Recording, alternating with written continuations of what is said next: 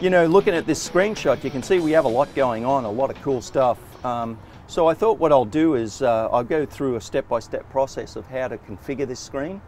So we're on the home page now and I'm going to uh, select the, a blank palette here to begin the process of building the page.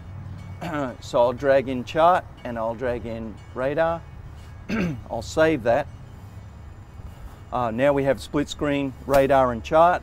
Uh, on this side it, I want to put it into 3D mode and then I'll uh, also under view we'll put some photo overlay that's satellite overlay with the buildings make it look nice and cool and then on top of that we shall um,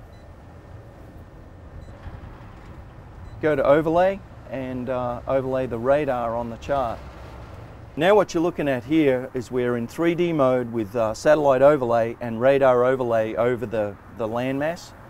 Um, and on the, on the starboard side screen we have a half mile range and we're in harbour, harbour mode and extreme detail in the harbour.